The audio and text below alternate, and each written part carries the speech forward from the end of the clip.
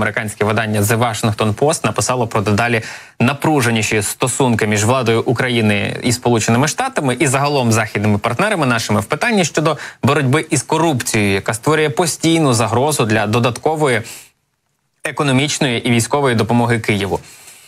Зацитую шматочок невеличкий із е, їхньої статті. Українські урядовці наполягають на тому, що вони борються з корупцією так само запекло, як їхні війська воюють з російськими окупантами на сході. Але західні уряди, включно зі сполученими штатами, кажуть, що цього все ще недостатньо, і це є джерелом дедалі більшої напруженості у відносинах між Києвом і деякими із його найсильніших прихильників, що створює постійну загрозу для додаткової економічної та військової допомоги.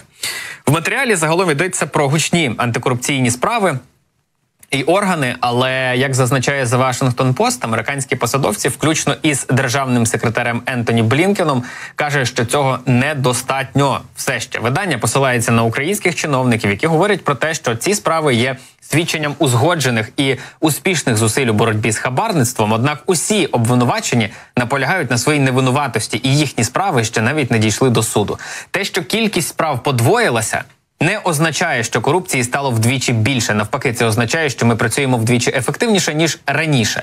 Західні столиці, як зазначає The Washington Post, однак не такі у цьому впевнені, тому що на кону боротьби з корупцією в Україні стоять мільярди не лише власні податкові кошти, а кошти, але і західна військова та економічна допомога. І, хоча прямих звинувачень у нецільовому використанні чи привласненні американських грошей або зброї не надходило.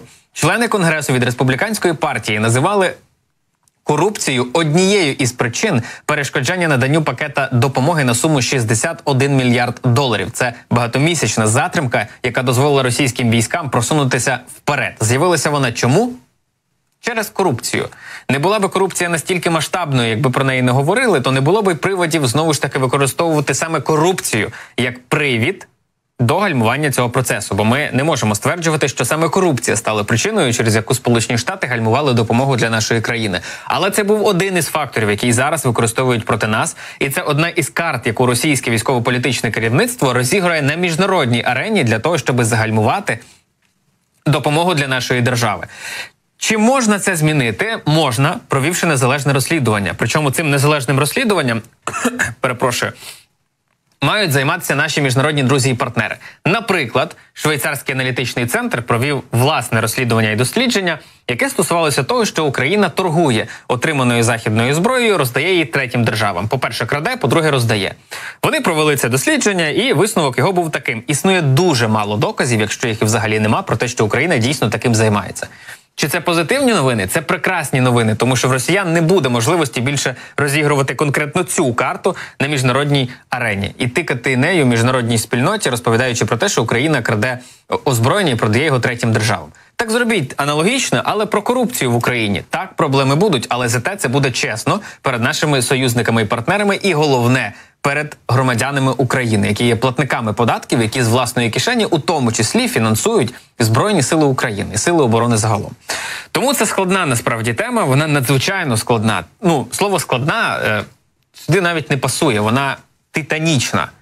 Її розібрати на молекули за один раз неможливо і за один ефір неможливо. Це має бути системна, методична і регулярна робота, спрямована на подолання корупції. І починається усе завжди із незалежного розслідування з оцінок незалежних експертів, які скажуть, є справ 5, в суді з них 0. Або, можливо, скажуть, є справ 5, в суді з них 4.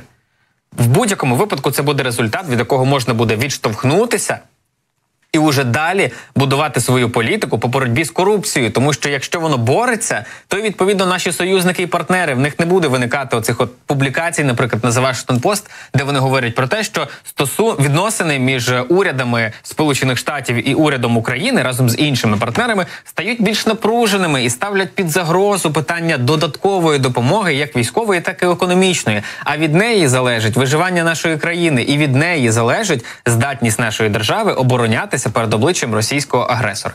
Тому, поки вони розбираються з питаннями корупційними, у мене є для вас пропозиція задонатити на наше військо. Це збір на 280 тисяч гривень. Проводить його 24 канал, і ці гроші підуть на закупівлю баги для бригади Карадах. Вони зараз на роботинському виступі працюють.